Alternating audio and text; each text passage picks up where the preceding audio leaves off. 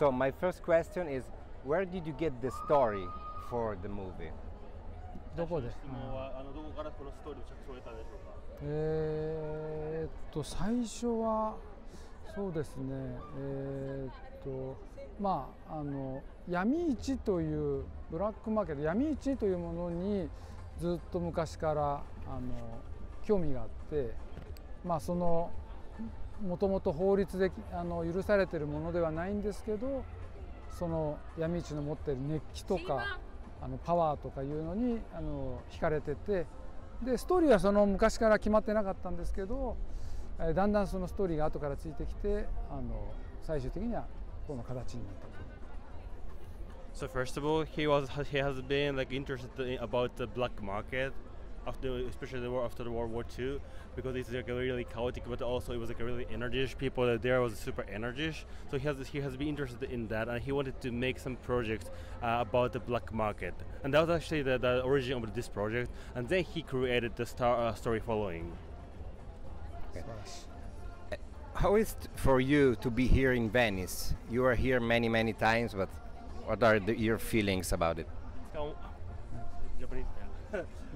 さんはもう何度もベネベネチアに来られてるわけですけれども、まあ、今こうやって何回も来られてる中でベネチアにいるっていうことの感覚ってどうどういう感じするもんでしょうか？やっぱり映画を一本作るのっていうのがあの少し考え始めてからできるまでってすごい大変なことなので、まあ、そのことがやっと終わってお客さんに初めて見てもらうという瞬間なので、まあ、解放されるとともにさあこれからこの映画をどう付き合っていくかということを決めていくあの非常に重要なポイントでもあるので楽しくもあり、まあ、いろんな、えー緊張する、えー瞬間でもあるという。 So like uh, uh, like so the creating uh, one uh, one feature film takes long from the development and, and, uh, until the completion of the film. So actually, and then also this is the first time to show his film to the au- audience, the public. So like uh, it, it makes me it makes him feeling like uh, oh now I am a freedom. but at the, at the same time, also he's bit uh, he then he ha- also has to uh, has to consider about the, the promotion, the marketing, and, and the campaign, everything. So it's like a, the mixture of like a really uh, the, uh, really being fan to being here, and at the, at the same time, it's also a bit, nervous as well. So uh, you, you shoot many, many films. You for many years as a director. Is it easier now to shoot a movie, or is more difficult? 塚本さんはもう何本も、えー、と映画を撮られてるわけですけれども、まあ、こうキャリアを重ねるにつれて映画作り自体が簡単になってる感覚があるかそれともより難しくなってる感覚があるかどちらでしょうか？その技術的には、まあ、正直言うとそのデジタル技術のおかげであの簡単になってきてるなという実感はあありますね。フィルムの時の方がやはりいろいろ面倒なことが多いんで。それに比べるとデジタルのあの表現になってからはやっぱりいろいろ考えるとだいぶ楽にはなってると思うんですけどただその中身に関してはまあ、全く変わらないですね昔からあの映画作りっていうのはやっぱり大変なのでその考えてから形にするまでっていうのはものすごく大変なことなのでそこはいくら時間が経ってキャリアを積んでも変わらないですね。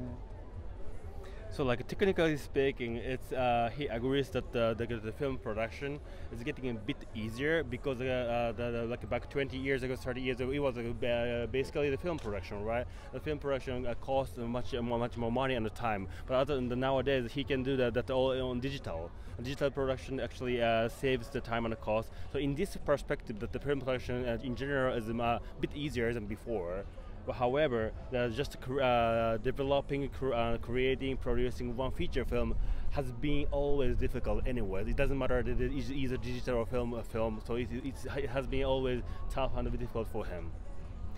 In all those years, you influenced many, many authors and directors. But who influenced you?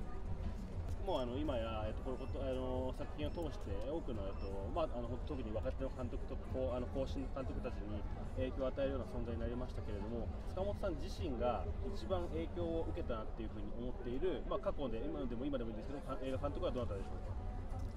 まあ、自分が、えーっと中高えー高校生の時に映画を作ろうって意識してから影響を受けたのはやっぱり黒澤明監督がもう一番の監督でで、えー、その興味を一旦持った後に、まあ、どんどん好きな監督出てくるんですけど、まあ、日本ではあの今村翔平監督とか市川崑監督とかあのいろいろいますね。で外国の監督としてはマーチン・スコセッシ監督とか、まあ、リドリー・スコット監督とかそういう監督たちに影響をもうもちろんいっぱいいますけど初期の頃はそういう感じから始まってますね。like when he uh, when uh, when he decided uh, he, he had the motive first motivation to uh, start a film uh, uh, movie making back in high school uh, he the, he was a big fan of Akira Kurosawa yeah, but however the, then, then after after high school there was a more of a film director which he, who, who he loves including Shohei Mamura Kong Ichikawa. They're, these are two big name. Uh, he, his favorite director from Japan, and also uh, considering the uh, the uh, directors from the, uh, other countries. He, he he's been uh, the big fan for the Martin, Martin Scorsese and also Ridley Scott. So my last question, my last question is, do you rewatch often or never your old movies? 塚本さん、ちょっと僕もちょっとあれなんですけど、塚本さんがその自分の映画っていうものを最近なのかな見られました？か僕自身が作った映画。えっ、とね僕は結構えっ、と割と見る方だとは思いますね、まあ、最初に作った「鉄道」って映画は事あるごとに見ますし時々スクリーンで上映する機会もあるんでその時は見に行ってあのまた体験したりとかするので他の監督よりは比較的見る方かなと思うんですけどね。Uh, he thinks himself uh, maybe compared to other like uh, average uh, direct, uh, other uh, the directors maybe he's more he watched uh, uh, the film by himself maybe more often mm-hmm. like uh, especially like uh, Tetsuo is repeating uh, the sh- uh, repeatedly showing in Japan like in theater like like almost like every year every year and in like, several media like VOD blue, new Blu-ray like that so he had the chance to watch it again by himself thank you very much Thank yeah. you.